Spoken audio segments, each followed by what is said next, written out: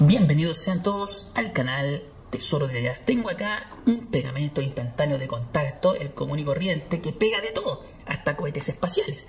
También necesitamos algodón, algodón común y corriente que se encuentra en casa, en un supermercado, en una farmacia, ¿no es cierto? Y lo vamos a aplicar sobre distintos materiales que van a dar solución a muchos de sus problemas en el hogar. Y todo esto lo vemos acá en el siguiente video tutorial.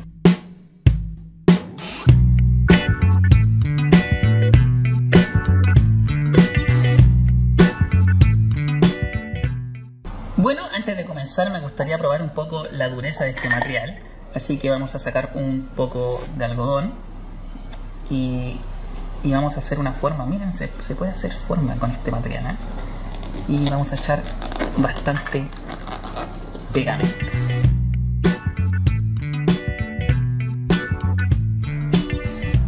Bueno, hemos usado un total de 4 pegamentos instantáneos.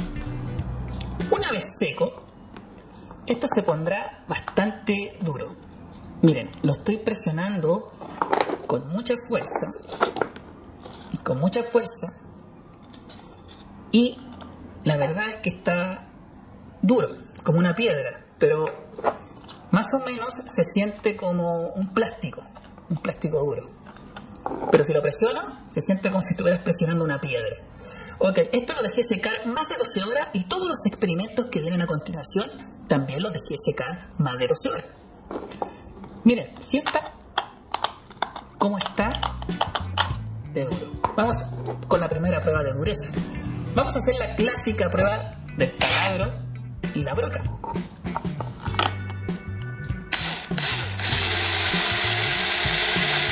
Miren, por favor. Vamos a hacer un poco más de eso.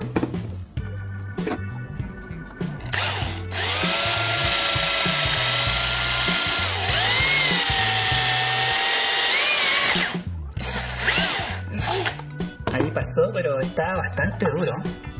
Y se siente plástico, todo como si fuera plástico. Se siente todo como si fuera plástico. Muy bien, ahora veamos cómo se pegó al plástico. Bueno, no se adhiere bien al plástico, pero yo creo que si enrollamos algo en el interior, como por ejemplo uniones de madera que vamos a ver a continuación, yo creo que queda bastante firme porque esto no lo puedo romper con los dedos. No lo puedo romper. Estoy ocupando toda la fuerza que tengo y no puedo. Vamos a usar alicates, a ver si podemos romper. Miren, lo estoy presionando con toda la fuerza.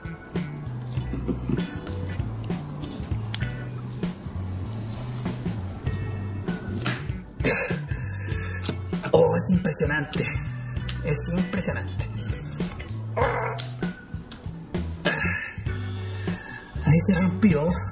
Pero yo creo que la prueba de dureza, si le damos de un 1 a un 7, en nota yo creo que un 7. Un 7. Un 7, miren. Estoy presionando increíble. Prueba de dureza aprobada.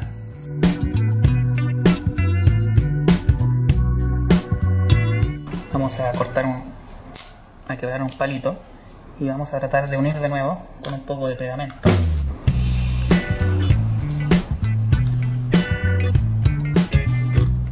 Y vamos a empezar a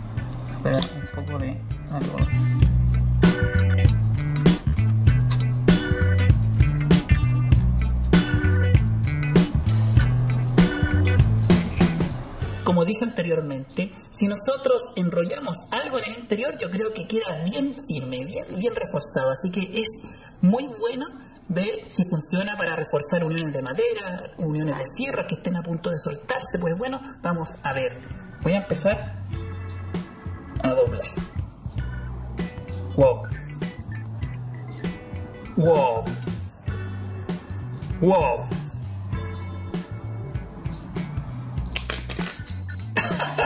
Bueno chicos, se ha roto en esta parte. Pero yo creo que le faltó más algodón. Yo creo que le faltó más algodón. Mucho más. Porque en la parte que está gruesa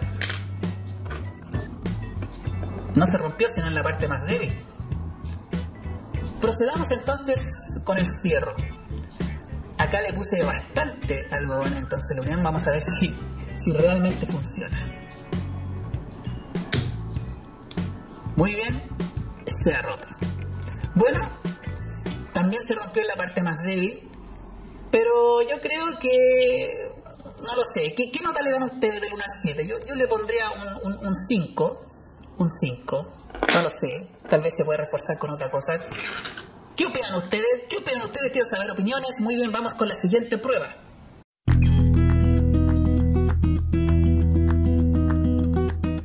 Con un trozo de tela que tiene un orificio. Vamos a comenzar. Esto es bien sencillo. Vamos a poner por el reverso un poquito de algodón, nada más un poquito. Y comenzamos a echar el pegamento. Vamos a ver si esto es flexible, si no es flexible. Como ustedes pueden ver, el acabado no es tan bonito, pero hace su función. Miren, ya está la tela seca y ha quedado con un acabado que no es muy bonito. Miren, alrededor se ve el pegamento. Ustedes pueden ver que alrededor se ve el pegamento, pero cumple la función de tapar el orificio de la tela. Ahora me preguntaron ustedes, ¿es flexible? Pues bueno, miren, no, no es flexible, es bastante duro. Por lo tanto, no tiene flexibilidad.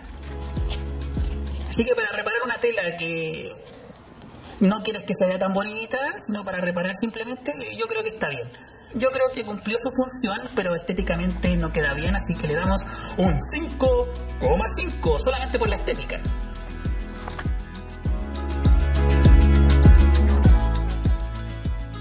Bueno, ahora vamos a suponer que tenemos una bisagra de un mueble común y corriente y de la nada, del tanto uso, se empieza a romper.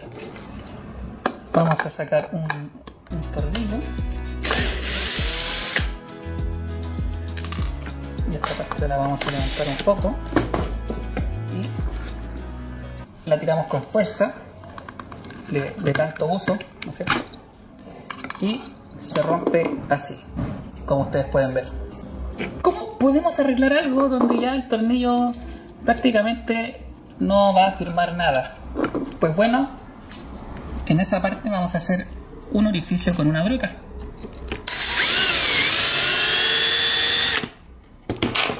Sin pasar hacia el otro lado, que al otro lado no pase.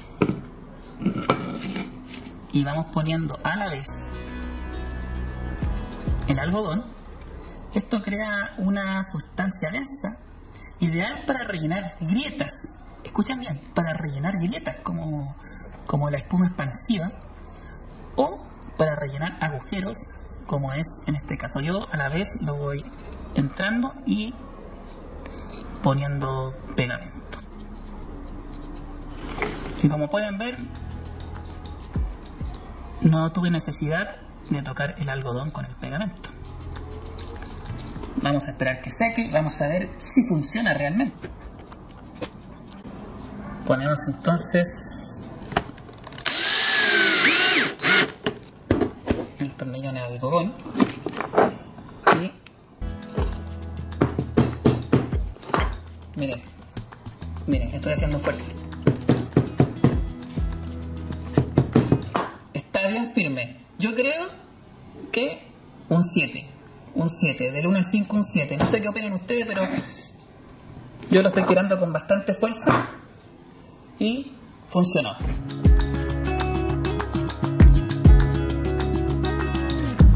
Tengo acá un control remoto que es plástico y en la parte de atrás está roto. Vamos a ver entonces cómo reparar este trozo. Echaremos un poco de pegamento alrededor y un trocito de algodón pequeño.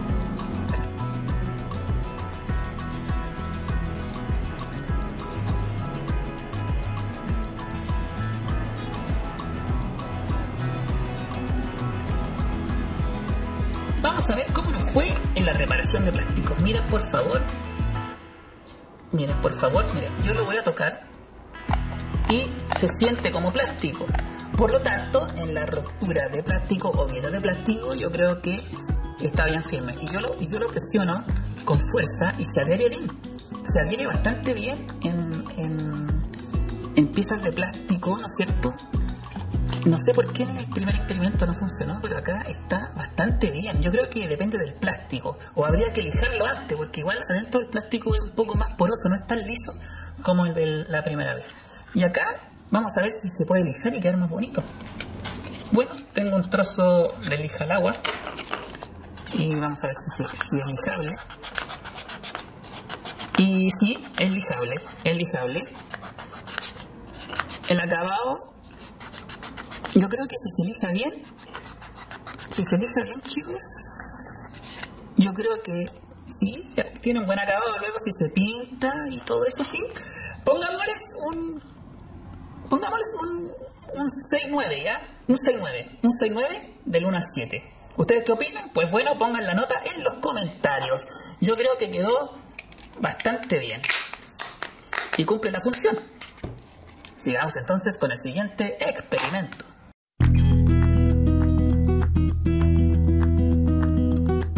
Vamos a ver si es capaz de resistir el agua, pero vamos a hacer un tapón de algodón. Vamos a hacer un orificio. Como ustedes pueden ver, hicimos un orificio y vamos a tapar con algodón y vamos a ver si puede resistir la humedad el agua.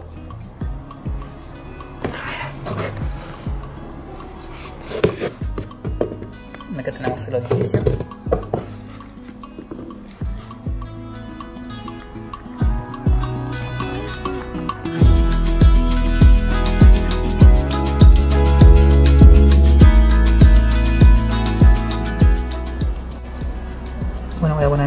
Poquito más ahí.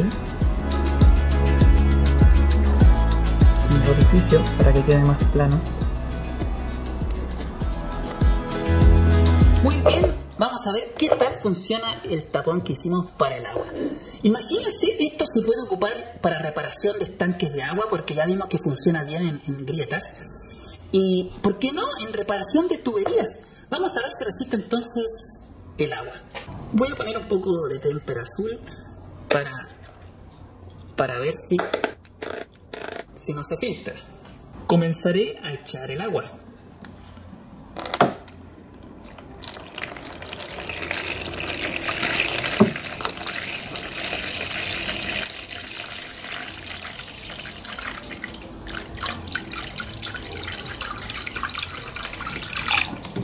Mire, por favor, es increíble. Oh, es increíble. Yo le pongo un 7, no sé ustedes, pero yo le pongo un 7. Paso el dedo y no tiene nada de humedad. Incluso, miren, voy a buscar un poco de, de, papel higiénico para que vean que no se humedece. Miren, acá traje un poco de papel higiénico y miren, miren, miren, por favor, miren. Nada, nada, nada. No sale nada de humedad. Es increíble. Es la primera vez que uno de mis experimentos pasa la prueba extrema. De los experimentos de pegamento, obviamente. Muy bien, muy bien. Vamos a la siguiente prueba extrema.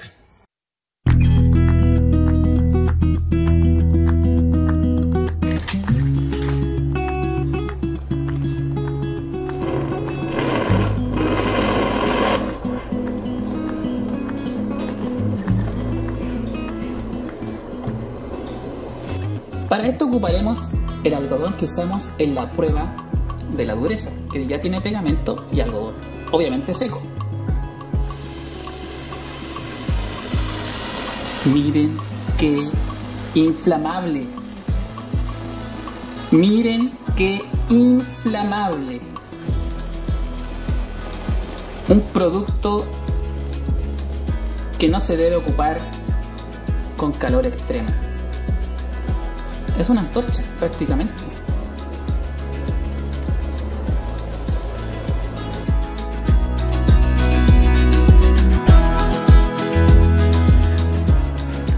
He llegado a la conclusión de este vídeo. Yo creo que ha quedado más que demostrado que al mezclar algodón con pegamento instantáneo sirve para rellenar grietas y orificios.